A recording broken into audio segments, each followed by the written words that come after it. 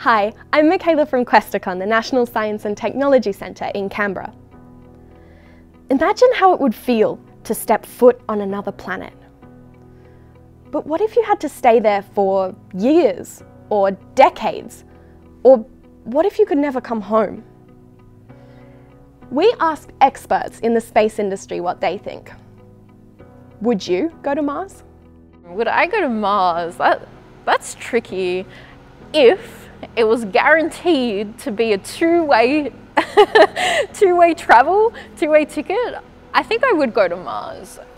And not just to explore Mars, but to be in outer space, to be able to look back and to see our planet, our home from that perspective. That would be incredible and just so magical. So if it was guaranteed that I could get back to Earth, I would consider going to space, going to Mars.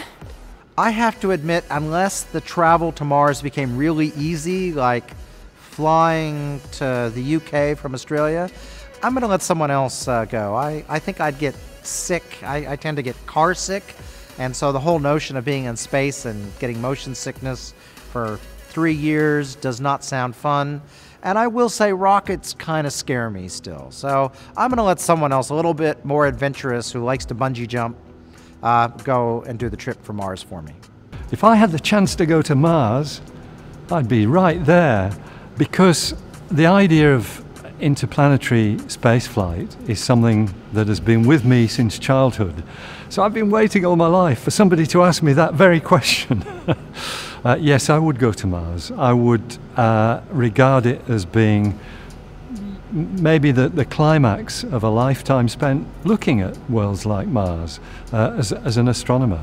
Uh, yep, I'd go, I'll, uh, show me where the tickets uh, are on sale and I'll be there. I think I would on the condition there was a return flight. And I think it would be an amazing opportunity to see another planet. What can we learn about that planet and what can we learn from that planet for here on Earth and as part of the solar system? I think it'd be a fabulous opportunity and a once in a lifetime thing, but of course, only if there's a return trip. Would I go to Mars if I had the chance? Um, actually, don't think I would. I would love to. Of course, I would love to. Um, but the journey is so long nine months there and nine months back potentially. Um, I'll miss, I would miss my family too much.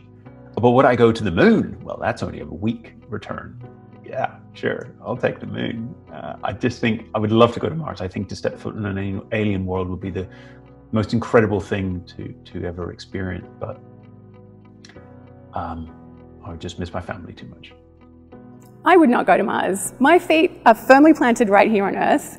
This is my home. This is where I come from, and there's so much to be done right here.